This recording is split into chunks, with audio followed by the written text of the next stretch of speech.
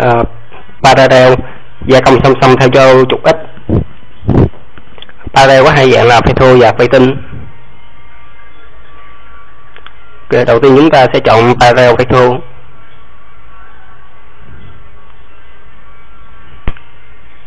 Cái này đó slab box cavity có nghĩa là bề mặt chúng ta là boss là dạng lồi cavity là dạng lõm. Identify là mình chưa xác định được bề mặt có thể rồi hoặc lõm luôn parallel thua rồi. Chúng ta quét chọn về mặt. Đây là cái bề right, cái bề mặt gia công cái bề mặt là bề mặt cát khi chúng ta lựa bề mặt này á là chúng ta à, không muốn giao nó ăn phạm cái bề mặt này. Còn approximate typo là điểm vào giao. Đây là giới hạn đường biên containment. Ok một con dao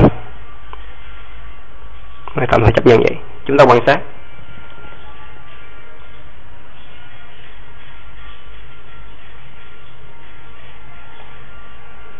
Ừ. chúng ta sẽ thấy nó đi thô nhiều quá này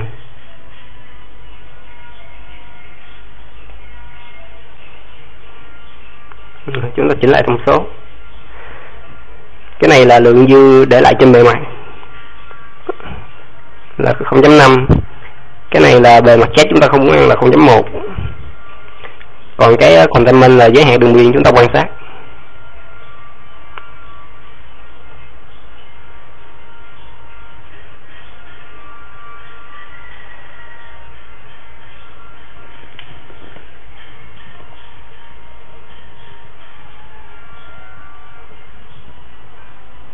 Rồi chúng ta chỉnh thông số bước xuống dao 15 ly, cho nó chạy nhẹ cho chúng ta cũng dễ quan sát thôi.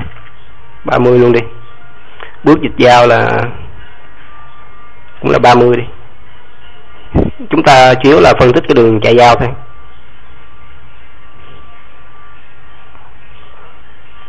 Rồi chúng ta quan sát. Nó chạy song song với chủ ích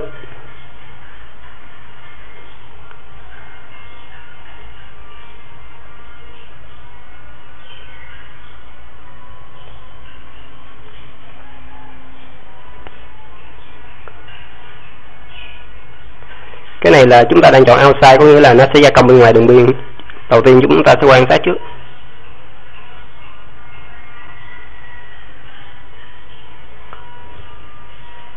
Center là nó gia công bằng tâm luôn.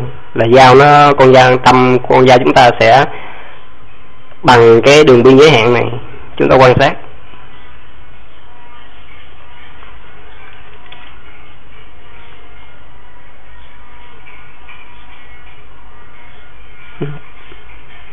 Nó gia công bằng cái đường biên còn inside là gia công bên trong.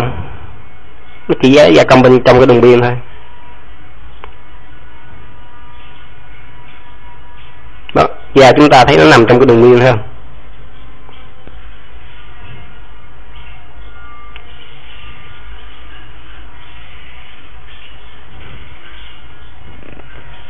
ở đây á addition offset là nó không tính cái bán kính của con dao lúc đó thì nó sẽ chịu bán kính con dao lúc đó là chúng ta sẽ thấy con dao nó có bằng thâm bằng center luôn chúng ta quan sát.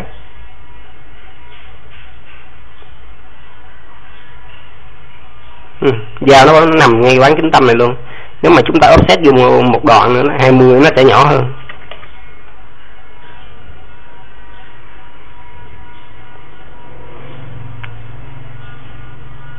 Dao nó sẽ nằm bên cái bán kính nhỏ hơn thường thường thì chúng ta sẽ chọn outside là bên ngoài cái đường biên.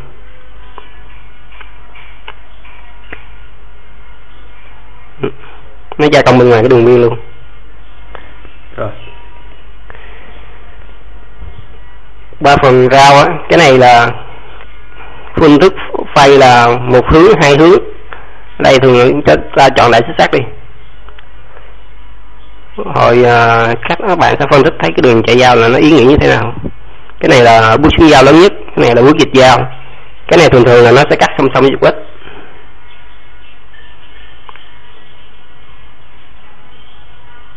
cái đường chạy dao nó song song trục ít không? bây giờ mình muốn cho nó xéo đi một góc 45 độ so với trục ít 45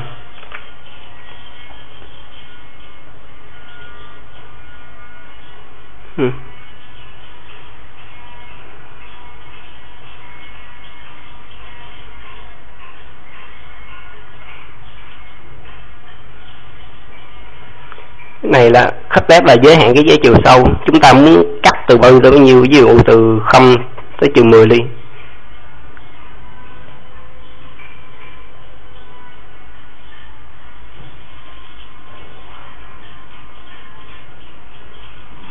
nó chỉ cắt tới cái chiều 10 ly thôi, nó không cắt hơn.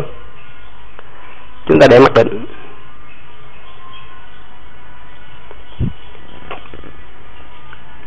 Còn đây là optimize thất đó đây là tối ưu hóa đường chạy dao. Đây chúng ta thấy nhấc dao nhiều quá, chúng ta chết vô đây cái. Để tối ưu lại cái đường chạy dao của chúng ta.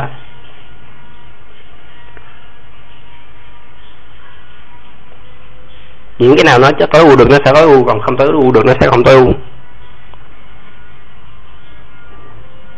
Chúng ta để không gì dễ quan sát, song song với chụp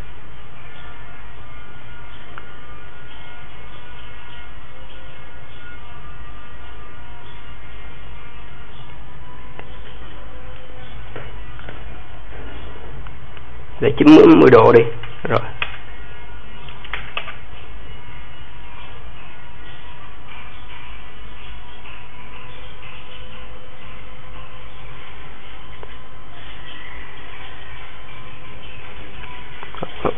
Qua mặt trên, mặt ra, chúng ta thấy cái đường chạy dao chúng ta sẽ phân tích nó.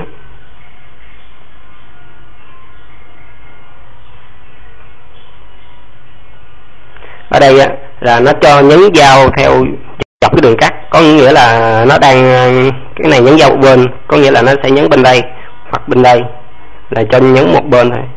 Dao sẽ đi từ bên đây qua.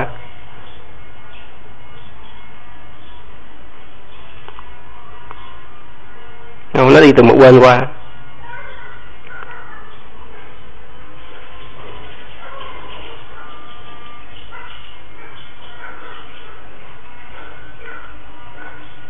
Còn đây là nó sẽ cho đi hai bên luôn.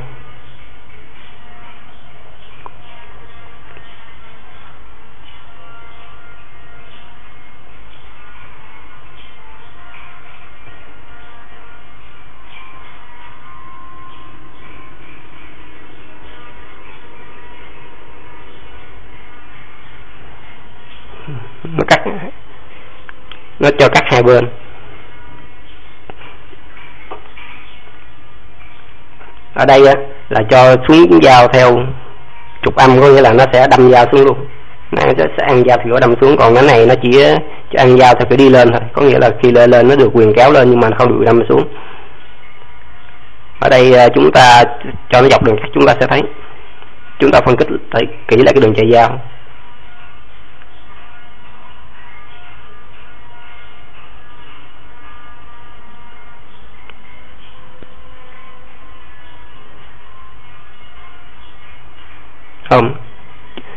thấy nó, nó chỉ nhấn một bên này qua bên lại thôi chứ nó không dạng nhấn hai bên.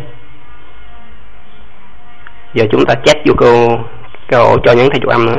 Chúng ta sẽ thấy là nó nó đi ăn ở đây xong nó ăn xuống luôn.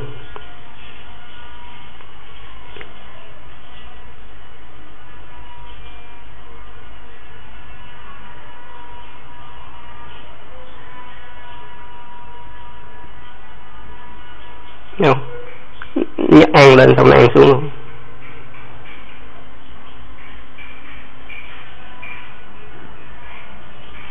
không nó ăn lên xong nó ăn xuống. Cái này nó là cắt một bên.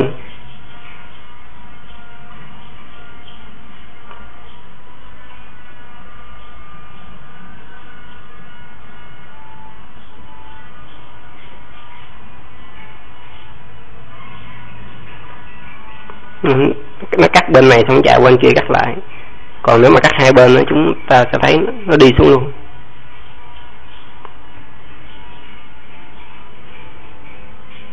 Rồi. Chúng ta có thể sử dụng cắt hai bên, nhưng mà thường thường thì mặc định là chúng ta không cho nhấn theo chữ Z, tại vì có thể gây sốc dao, ngã dao.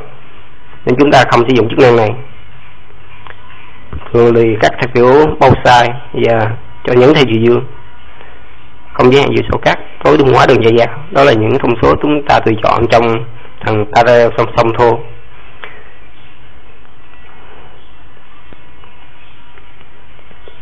Rồi, đó là parallel bay thô. Chúng ta ấn đường chạy giao đi. Còn bên parallel ngoài chiến lược thô đó nó còn một cái chiến lược gọi là chiến lược tinh qua finite.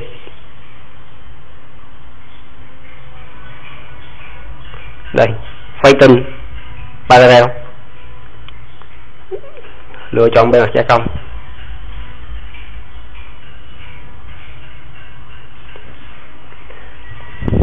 cũng thuộc ô dân 20 cái chiến lược này nó so với chiến lược kia thì nó cũng giống nhau thôi. Nó không khác gì hết. Cái khác ở đây là nó không có đáp khách. Có nghĩa là nó chỉ cho chúng ta đi một bát tinh trên bề mặt thôi, chứ nó không cho chúng tối hóa đường chạy giao nó không cho chúng ta đi nhiều bát như đáp khách bên kia. Cái này phe tinh là chỉ phải bề mặt thôi. Đó là điểm khác nhau của thằng thôi, thằng tinh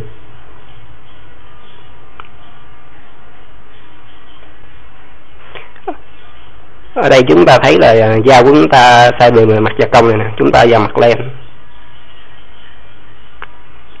đổi bề mặt lại thành top.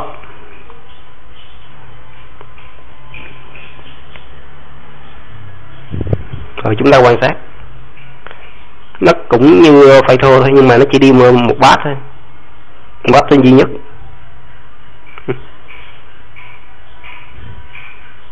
Ừ đó là chiến lược phay uh, à,